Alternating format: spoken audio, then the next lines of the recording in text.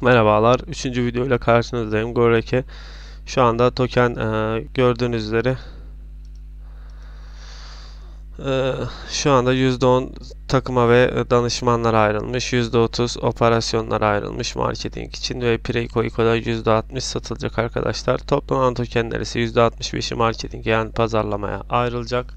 Operasyonlara %5 15 ayrılmış. Legalleşmeye %5 %5 güvenliğe ayrılmış ve %10'da geliştiricilere ayrılmış. Roadmap'lerinden bahsetmek gerekirse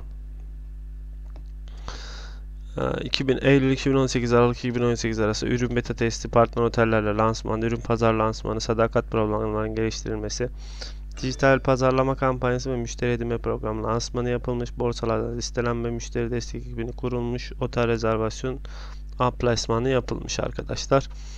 2019'da görüyorsunuz işte açılacak ve 2019'un ikinci çeyreğinde de borsada listelenecek arkadaşlar. Gayet uzun harcı bir proje. İyi günler diliyorum.